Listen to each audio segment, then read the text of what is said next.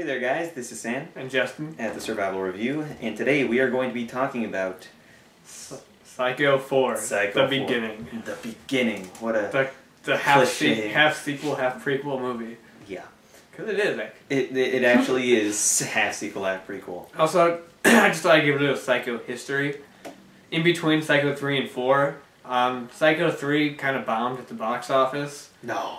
So they decided to go to television and make a TV show um, called called Bates Motel. Bates Motel. Not the new show, Nope. but this show, it's not in continuity with the movies because Psycho 4 ignores it, obviously. Because in the show, Norman Bates dies in the mental hospital, and he um, gives gives the motel over to his like uh, roommate or whatever, cellmate or whatever. I haven't seen it. But it's I just, it's just what I'm was it off. I'm was it off of. Anthony Perkins? No, they had a different guy playing. Oh. Like, they had like Anthony Perkins stunt double playing. Oh. But um, it was only brief shots though. He was barely in it, and so um, so that guy takes over as as the caretaker of the Bates Motel, and like weird things start happening. I've heard that the show couldn't find a good tone if it was like supernatural or like a Twilight Zone esque type thing. It didn't get past the pilot episode. Oh, seriously? Yeah, it only got a pilot episode.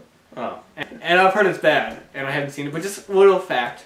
And then after that, they made Psycho 4, which was a TV movie on Showtime, though. So it has more production value to Yeah. it. It doesn't feel too much. It only feels like it because it's very small. And there's not many locations. Yeah. But didn't necessarily need a lot of locations. No, I didn't. But that's kind of, I think that's why it was a TV movie. Yeah. I gave it. Okay. So, So, you want to talk about the plot? Why not? So it takes place like years after, at least a few years after Psycho three, and apparently Norman Bates is out of the mental institution Yet again, they, they're like, oh, he's fine now. He's and over. he's living in this nice house, and they explain later what what it is. Um, he um he is married, Yeah. and he calls up. There's this radio program going on. They're talking about uh, matricide, the like when sons kill their mothers and stuff like that. And he calls in just to tell a story because he's killed before and he's gonna have to do it again. And so you see the back. that's, that's the line.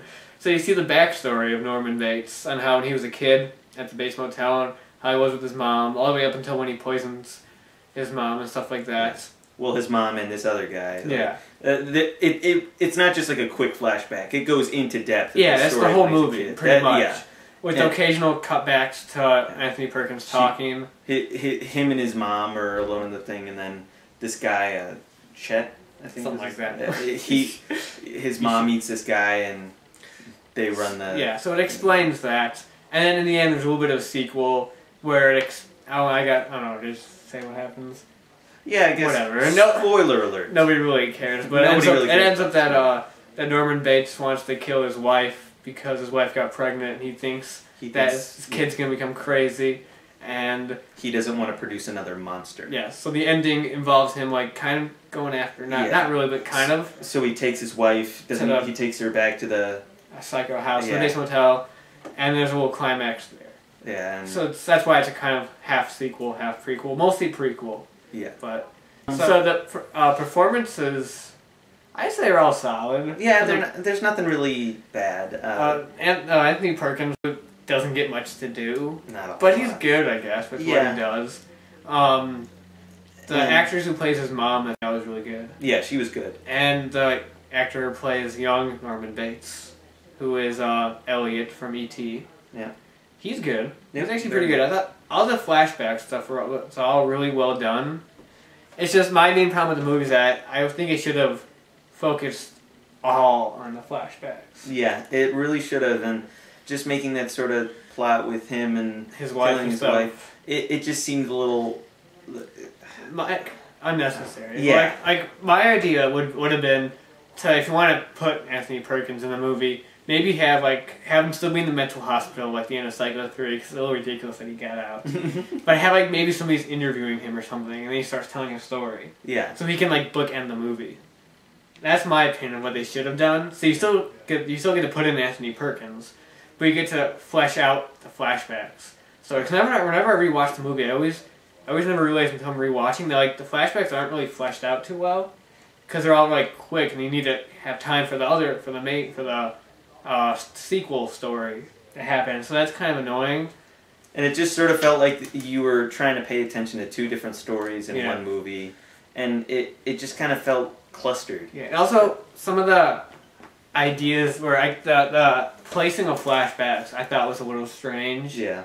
Because the way they do it, they try to save the uh, mother death until like the ending of the movie as like the big climax, which I see where they're getting that. But then they like the first flashback is a scene of him killing this girl after he's already killed his mother and started dressing up Yeah, like her. everything is. So the timeline just feels off in that opening flashback. You're just like, so this is after everything, and then they go back to when he was a little kid, and then they're still developing his story with him and his mother, and then there's one more flashback where he's killing somebody later on, Yeah. and then those two death scenes just felt like we need death scenes in this movie. Mm-hmm.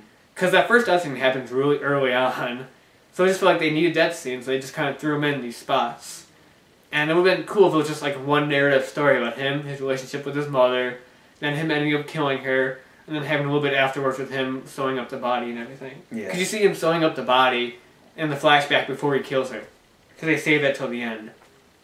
And I thought that was a little kind of confusing Yeah. at first. Like I never understood that first flashback. Like, why are you showing that now? Yeah, it's it's really weird the order they decided to show the things But in. for the most part, though, like because we all we're saying right now is we're just bashing the movie. yeah, It this flashback stuff is well done, yeah, and It's not- it's actually really entertaining. Mostly yeah. the. I, I really enjoyed it. I thought it was an interesting way to go with the series. yeah, it was cool. It was actually cool to see that. Mhm. I mean, it didn't. It didn't. It pretty much did explain things, but it didn't like explain it like overly explain it. So there's still more intrigue to it. And oh, and a, and a side note, they, this is the first Psycho sequel and for only Psycho sequel. They actually used the original score. Oh yeah, So that's cool, hearing the original theme and everything. Psycho 2 movie don't have the Psycho theme in it. It's really weird when you think about it. it is. So it has, and also had the screenwriter from the first Psycho writing it, That I did not know. which was cool. That is pretty cool. And one also random fact: when the movie premiered on Showtime, they premiered it right after like a restored version of the original Psycho, and it was hosted by Janet Leigh. Oh, that's So, cool. Yeah. So they tried. They really tried to tie it back in with the first movie a lot.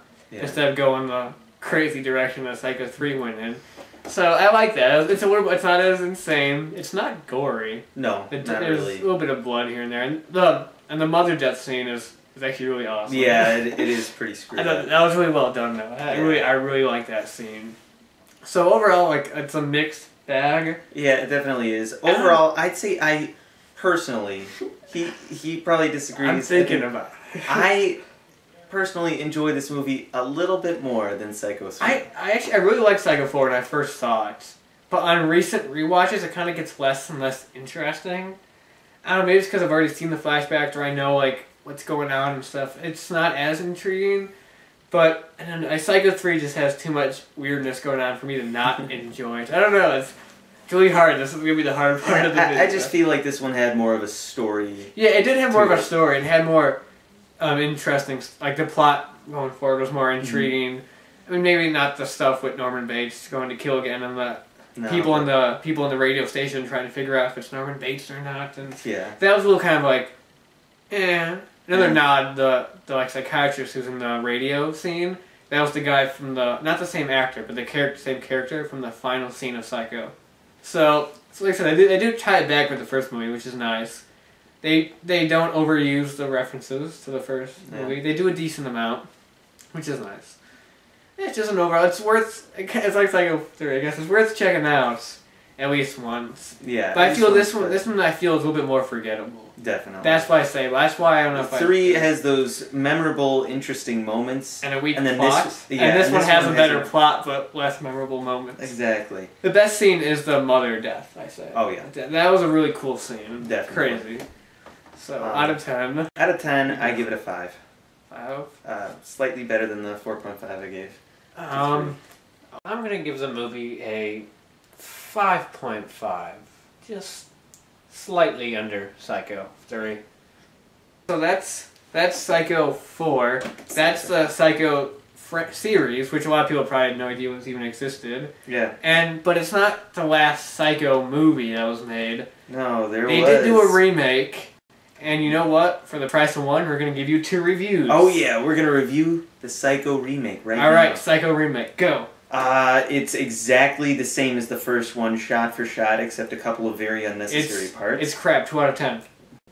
It's also crap. Two out of ten. There we go. So there we go. We got two reviews. Yeah! yeah. And uh, So that's uh, that's so we're done with the Psycho series, and after this we're gonna review other cool horror stuff. Yeah, Yes. uh, we'll we'll figure something out. And uh, that's about all we got to talk about for now. And Mhm. uh, we will see you guys later. Mhm.